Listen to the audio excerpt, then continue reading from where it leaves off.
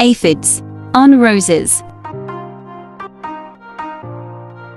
Macrosiphum rosae, the rose aphid, is a species of sap-sucking aphids in the subfamily Aphidinae. They have a worldwide distribution and infest rosebushes. Rose aphids damage the aesthetic appearance of rosebushes by contorting the flowers and foliage. And by the sticky honeydew they produce, which often provides a surface on which sooty molds develop.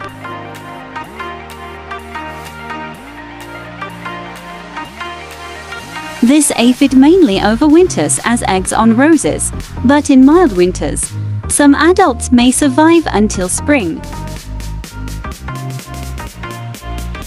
The eggs hatch in spring into wingless females which reproduce parthenogenetically, and large colonies can quickly develop.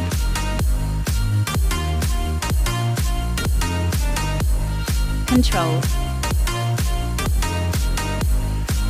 Aphids on roses can be picked off by hand and squished or sometimes a quick tapping of the bloom or foliage will knock them to the ground.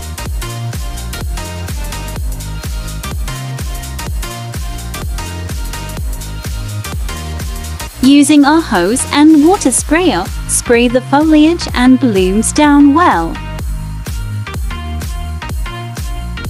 Use slow or time-release urea-based nitrogen fertilizers.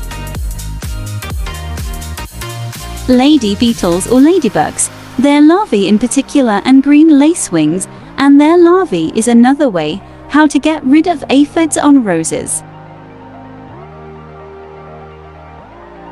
Spray acephate or diazinon and safer insecticidal soap.